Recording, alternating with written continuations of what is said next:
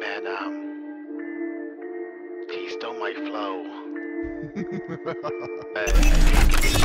Taylor about the fucking flex. Yeah.